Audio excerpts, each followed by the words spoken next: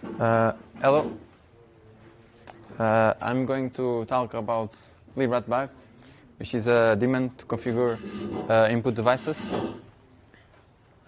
So who am I? My name is Filipe Laíns. I like beer. I'm a student.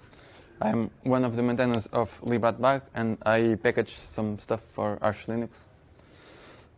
Um, so the table of content of content content. I'm going to explain a bit better what is libratbag. Then I'm going to talk about the, the current the, the, current status, what we have planned for, for the future, and uh, a really really quick overview of the HID protocol. Then how you can define your own uh, driver. Then some questions. So what is libratbag? libratbag is a dbus daemon, daemon to configure the hardware of input devices. So, for example, some IM devices like this one, you can change the sensibility and other aspects of the hardware, uh, but they often, the, the manufacturer often only uh, provides uh, official drivers for like Windows and sometimes maybe Mac, but never Linux really. So if you buy such uh, an expensive mice like this one, you you want to, to be able to change the, those settings, and that's what libratbag allows you to do. We are, we are vendor agnostic, so we uh, our API is not tied to any particular vendor, so you can define your own driver for your for, for any mouse or any other kind of input device and and have it work. So we, right now we mainly support Logitech because they actually use a, a, standard protocol between all of their devices. So it's really easy to um, not necessarily maintain, but to uh, to have the same code work for different models. While other uh, uh, other vendors like SteelSeries uh, have like a different protocol for each hardware, so it's a bit of a mess. Uh, and libratbag was created in 2015 by Benjamin Tissoires, which uh, who is uh, one of the maintainers of the the HID subtree of the kernel, and Peter Hutterer, which is uh, the, uh, who is the maintainer of libinput and uh, the, most of the Linux input stack.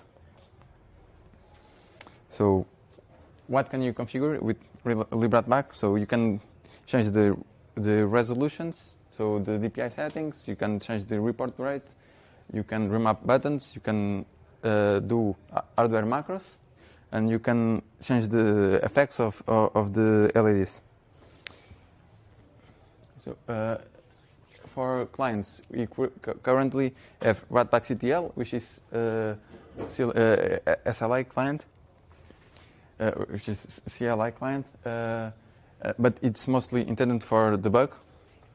And we have Piper, which is a, a GTK client, which is mainly which is intended to be like a, a proper client for end users. So the status of. So it works. You can change all of settings for, for the supported devices, uh, but we don't have any. Uh, uh we don't have a stable client API yet. So because of several issues, like uh, we have limited time, we are not.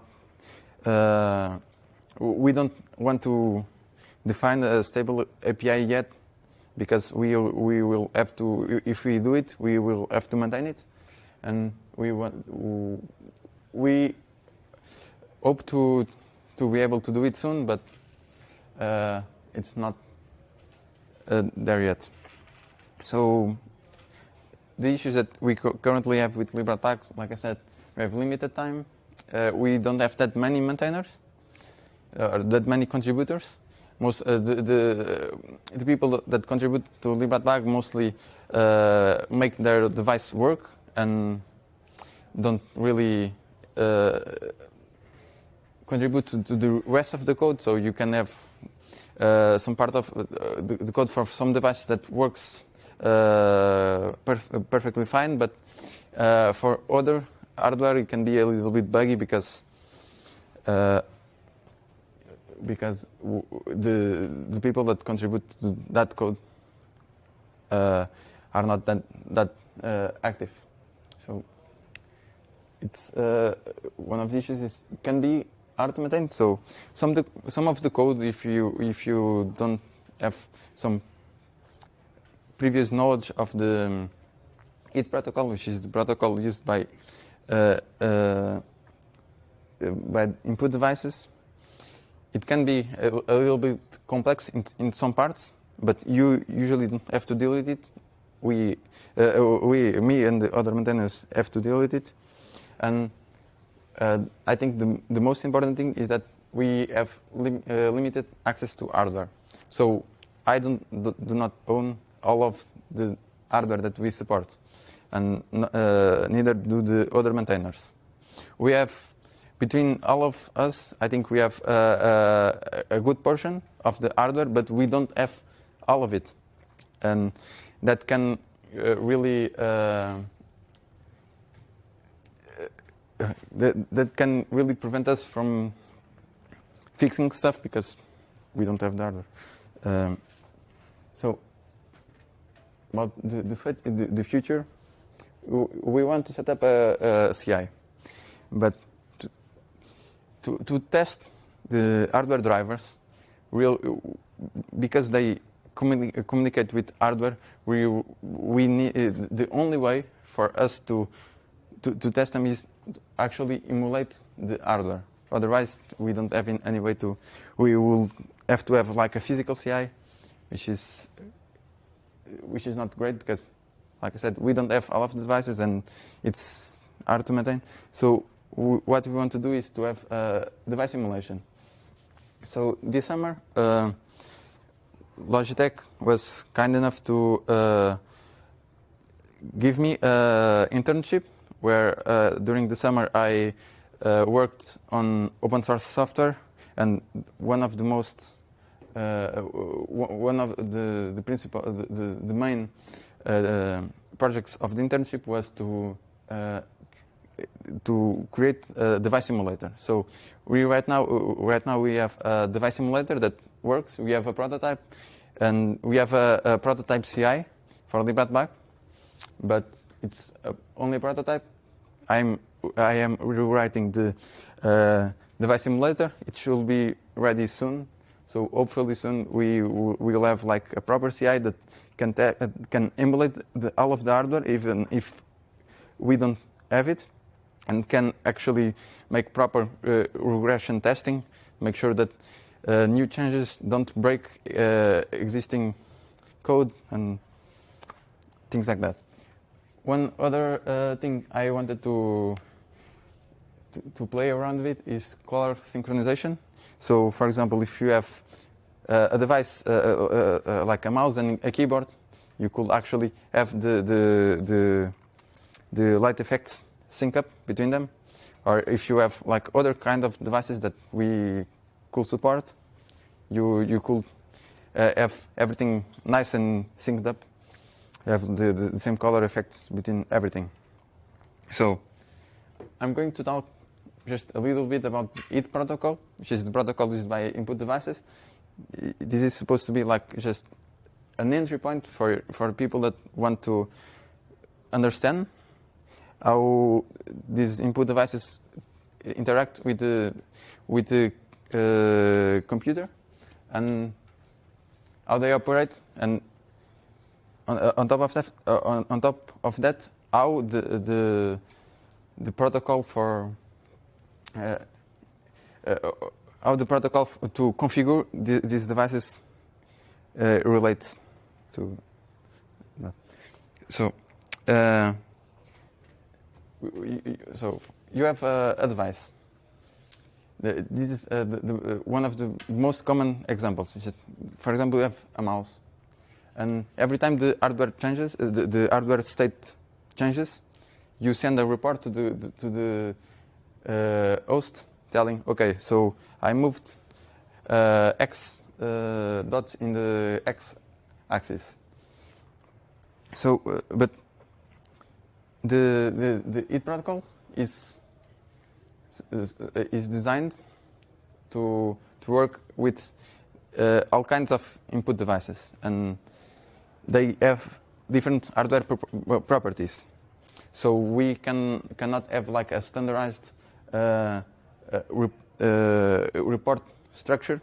So the, the, the, packet that the device sends to the computer to tell it uh, what changed in the uh, sorry to tell it what changed it cannot be standardized otherwise we will have like a really really big packet because we need to send everything that is possible so to prevent this uh, the HID protocol defined report descriptors which are basically st structures that um, describe how the, the, the, the packet is, is, structured.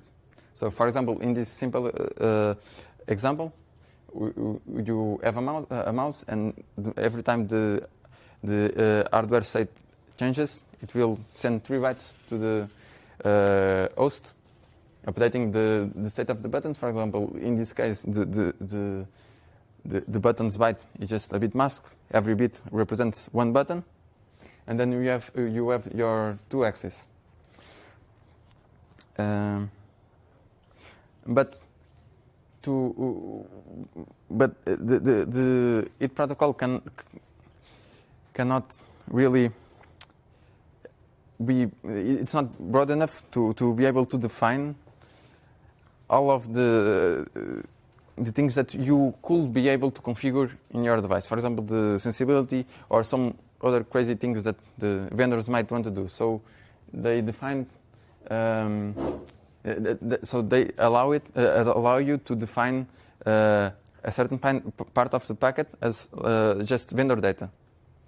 So uh, in, in a more complex event, you, you could uh, have a report descriptor that says that the, the uh, packets start with one, send the, the, the basic mouse uh, uh, hardware updates and the, the, reports start with two just send vendor data. And at this point, the, the HID driver, the generic HID driver, will just ignore the, this data. It, it knows what to do with, with that one, but it will ignore the vendor data. And uh, then you can have like a vendor driver to, to deal with that, rate, with that data. And uh, that is what libratbag does. We interact with the, the, the vendor data. So uh, every, uh, every vendor will uh, have a, a, a, protocol inside this vendor data, a, a, way for us to configure the devices and talk with the devices using the, this vendor data. Um, in, uh, in, Linux, in, Linux, you have two ways to interact with the vendor data. You can have like a kernel driver, but that's not really a great uh, solution. Uh, you really only want to do it if you need to, uh, if you need access to, the, to, to, that data some, somewhere inside the kernel. The, the most common uh, example is uh, the battery reporting. So you can have the, the, the battery reporting show, uh, show up in sysfs and then have UPower pick it up and report it natively. Uh, and for that, you, you could do a kernel driver. But for all of the other things, like configure the LEDs and, and things like that, you don't really want to do a kernel driver. You, uh, you, want to, you can do it in uh, user space. So uh, the kernel will uh, export a dev hidraw uh, device, which, are, which is a, device that just sends the, the, the, raw data to the, uh, which is a, a, file descriptor that only say that, that sends uh, the, the, the raw data to the device.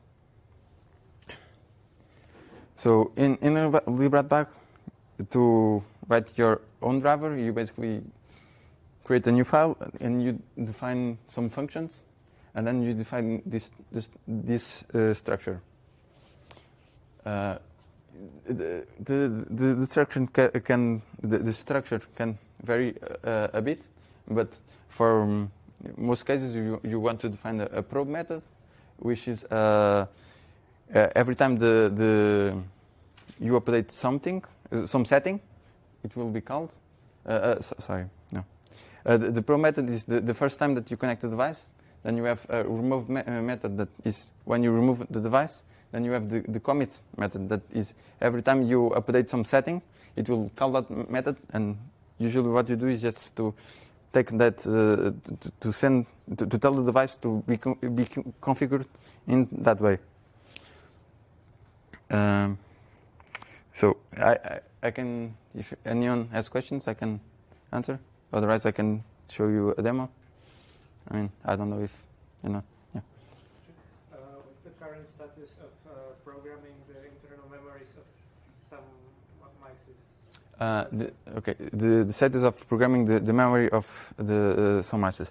So most of the, the most devices don't really allow you to interact with, with that because they just the firmware only uh, uh, the thing is that sorry so you have the the, the device that is connected via, uh, via USB or something and you have the HID protocol on, to- on top of it. It, does, it doesn't. Most devices don't really have a way for you to, uh, to, to to interact with the memory. For example, Logitech devices, the Logitech devices, particularly with uh, onboard profiles, actually export like uh, um, emulated memory, where you, you can store stuff. It, it is used to store uh, like uh, macros in more recent uh, uh, devices, like uh, some uh, custom LED effects, you you can uh, in those devices you can actually using the, the vendor protocol you can write to that to some part of the memory, and you you can uh, do other uh, do some stuff with that. But most devices don't really allow you to interact with the met uh, with the memory. It's basically you just uh, most devices only have like really simple commands that you say, okay, uh, set the the LED to the color red, and then and th- then the the, the the the firmware receives that message that message and interprets it and does uh, does that that sets the the LED to red. I don't know if I answered your question properly because just most of us don't really uh, uh, allow you. There's no interface to to write di- directly to the memory because it, after all, this is just an MCU running running some firmware that uh, will just get the updates from the sensor and then report uh, create some uh, it packets with the with the, the updated state and send it. So it's you you can only do what the firmware allows it to do.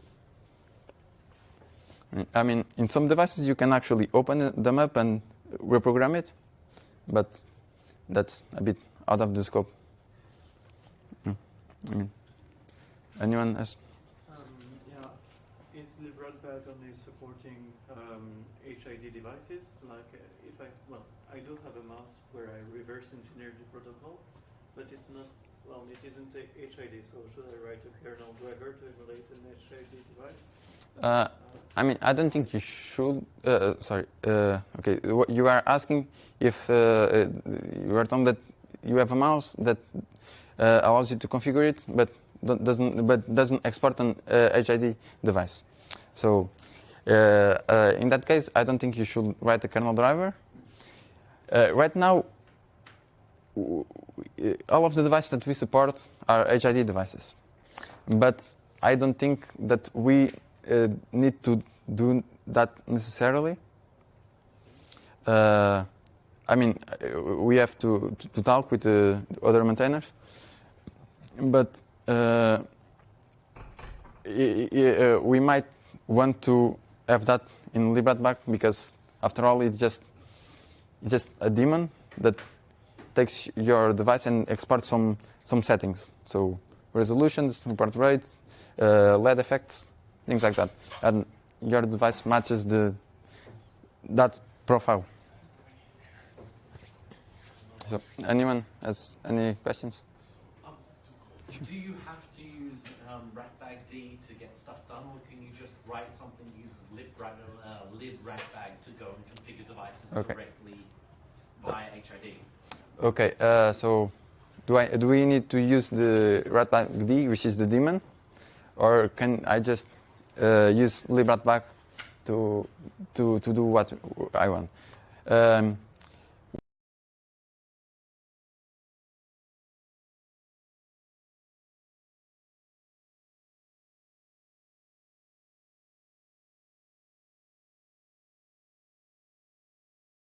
kind of deprecated, and we just merged the the the, uh, uh, the daemon and the library. And right now we only sup- uh, uh, public uh, support the daemon because I I, uh, I, I was not in the, involved with the project when that happened, but I think it was because the it was hard to maintain a, a public API for the library. Because it was in constant development, so we didn't, they didn't really want to maintain a, a public uh, binary API. So I think that's uh, what happened, but I'm not entirely sure. So, anyone?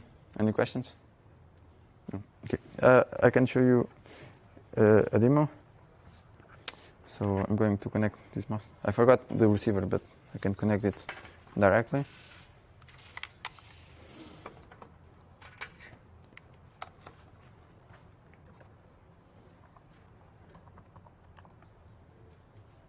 So, okay, my device shows up. Then I have resolutions. I can change that, can remap buttons. For example, I think one of the, the most important things is, for example, if you are uh, left-handed, so you, you want to switch the, the two uh, main buttons, uh, you, if your mouse is supported in libratbag, you can just go here, and uh, by default it will just pop you this uh, uh, this in- interface where you can just do it, and then uh, it's remap. Then you click apply, and then and, and now the buttons are. Let- me see if I can. Okay, yeah, I need to do this. The, the, the buttons are mapped. I need to use the other button. Yeah, okay. So uh, then we have the uh, the the LEDs. So I can just put like this orange. If I do this now, if I let me show, if I click apply, it should go orange. Okay, it went. Yeah, that's basically it.